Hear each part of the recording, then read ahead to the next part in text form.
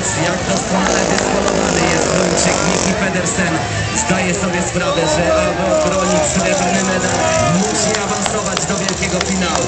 Ale Andreas Lawson też się o medal.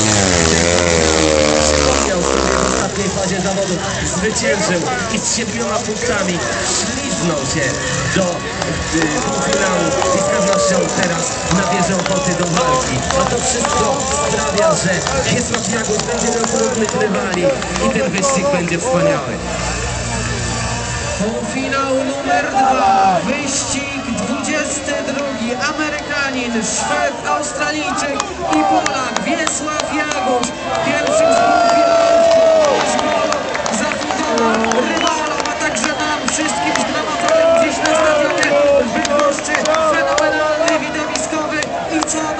najważniejsze skuteczny atak na.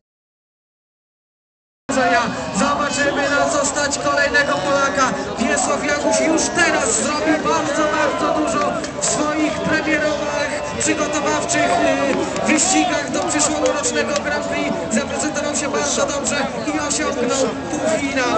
Greg Hancock w kasku czerwonym, w niebieskim Andreas Jonsson. To on walczy z Nikim rocznica w białym Jackson do przodu, proszę Państwa, Wiesław Jakusz.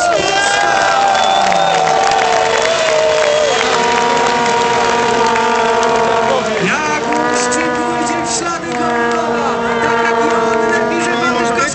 Popatrzmy, przed nami drugi półfinał!